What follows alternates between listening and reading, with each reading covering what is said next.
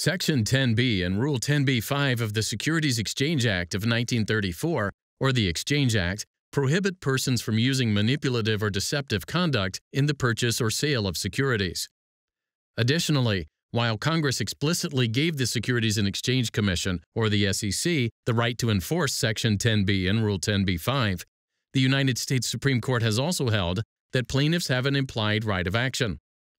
In the 1975 case Blue Chip Stamps versus Manor Drug Stores, the court considered whether a plaintiff who didn't purchase or sell a security had standing to bring a private action under the Exchange Act.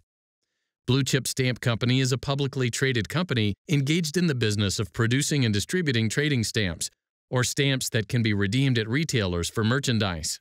In 1963, the United States brought a civil antitrust action against Blue Chip and nine retailers who owned 90% of Blue Chip's shares. Four years later, the action was terminated by consent decree after Blue Chip agreed to a reorganization plan in which it was to be merged into a newly formed corporation.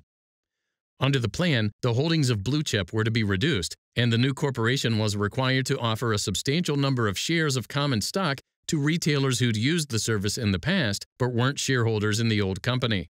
Following reorganization, the new corporation registered for a public offering with the SEC, and a prospectus was distributed to all offerees. At the offering, a little more than 50% of the shares of common stock were purchased.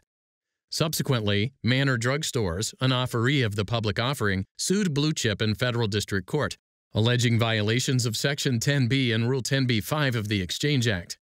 Specifically, Manor argued that the prospectus distributed by Blue Chip was materially misleading to discourage offerees from purchasing its shares. In response, Blue Chip moved to dismiss for lack of standing, arguing that Manor couldn't bring a private action because it wasn't a purchaser or seller of a security. The district court granted the motion, and Manor appealed to the Ninth Circuit, which reversed and remanded.